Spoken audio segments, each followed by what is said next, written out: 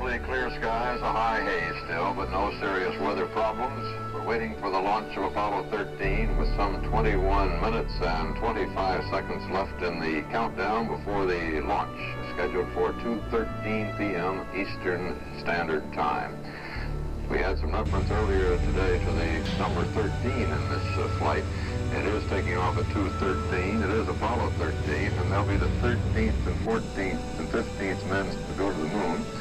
Uh, so, but none of them seem concerned at all about the numerology involved. They, uh, the uh, launch, all the countdown is going well with Jack Swigert now in that little command module pilot seat instead of Ken Mattingly, who may be coming down with the measles. We're going to have a new voice of Apollo here for the launch phase uh, at the uh, Cape today. Chuck Hollinshead, uh, who has been a deputy to Jack King, is taking over the voice job today.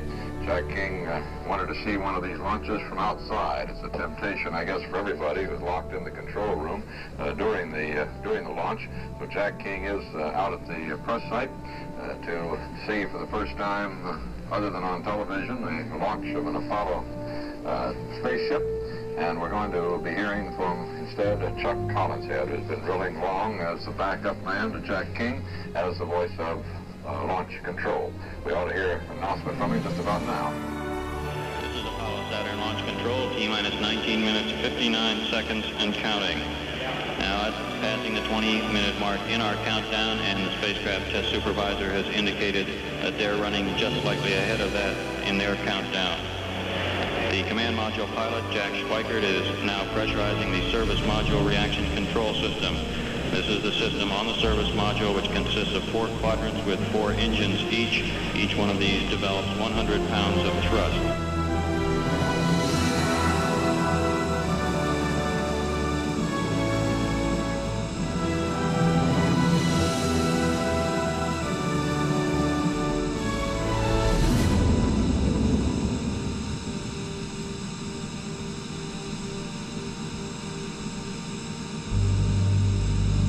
This is Apollo Saturn launch control, T-minus 5 minutes, 27 seconds and counting.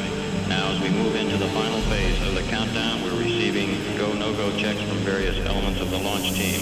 The spacecraft test conductor, Skip Chauvin, gave the test supervisor a spacecraft ready. At that time, on our large status board here in the firing room, the green light came on behind the spacecraft. The Green light now is also on behind the emergency detection system. Now standing by for more checks, mission director, Chet Lee, from the Manned Spacecraft Center in Houston, says we are go for launch, and the range indicates the range is ready to support.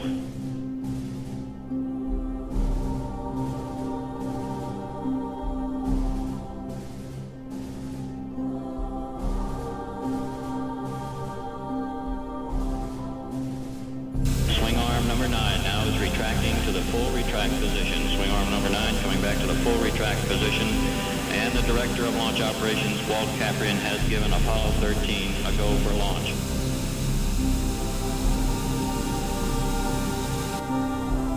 T-minus 50 seconds. As we pass the T-minus 50 second mark, the power transfer takes place. First stage, second stage, third stage, and the instrument unit going to internal power. T-minus 37 seconds, and our count continues to go well. We'll be looking for an ignition of those five first stage engines at the T-minus 8.9 second mark. We passed T-minus 30, T-minus 25 seconds, and counting, and Apollo 13 is go. T-minus 20 seconds, T-minus 20 seconds, and counting.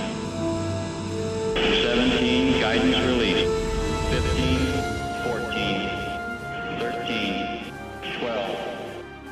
11, 10, 9, 8. Ignition sequence has started. 6, 5, 4, 3, 2, 1, 0.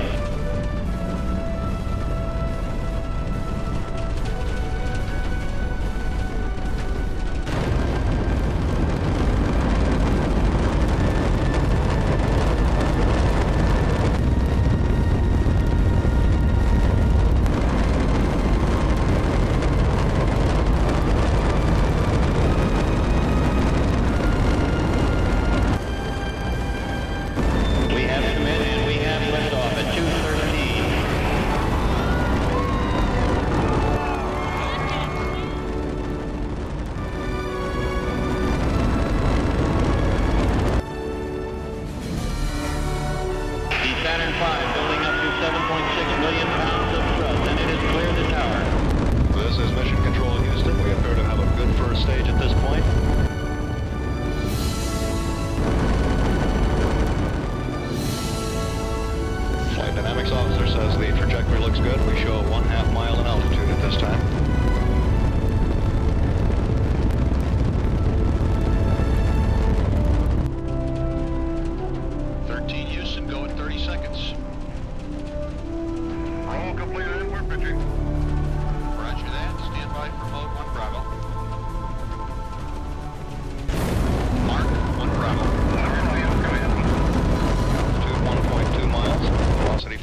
Feet per second.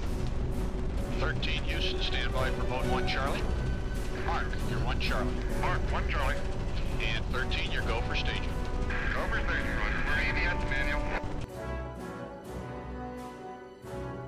Step forward. We confirm inboard out 13, you're looking good.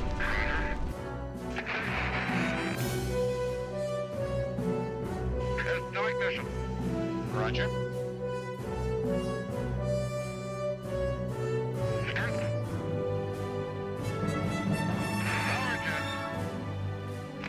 We confirm skirt sep. Roger. Tower jet, mode 2, Jim, looking good. Mode two.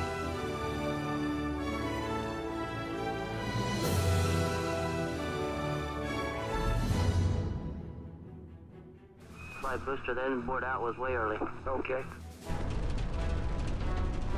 Flight confirmed, uh, number five engine down. Gotcha.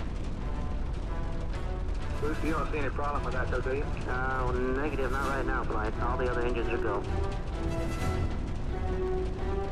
Uh, booster reports that the inboard engine uh, shutdown was a bit early. Uh, we're continuing to burn on the uh, four outboard engines. 13.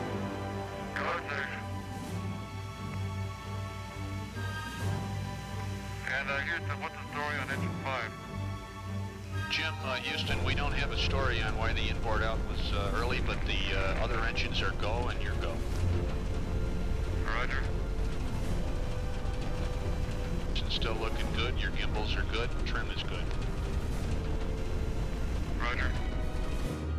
And at 7 minutes 45 seconds, booster reports we are go. All four engines remaining uh, looking good. 13 Houston, you are go for staging. 13, Roger. Go for staging.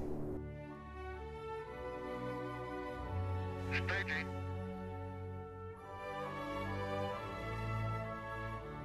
And S4 ignition, Houston. Apollo 13 uh, Houston, your go at 11 and a half, and predicted cutoff time is 12 plus 3-4 over. Understand 12 plus 3, 4 predicted cutoff time. That's affirmed. Seco. Copy Seco, Jim. We're looking at the DSKY. Roger.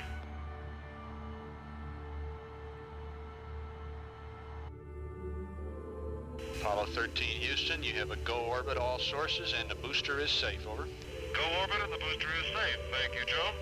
Don't mention it. Apollo 13 Houston, uh, your preliminary orbit down here is 102.5 times 100.3 and everything is looking good. Roger, Houston, and it looks good to be up here again. Bet.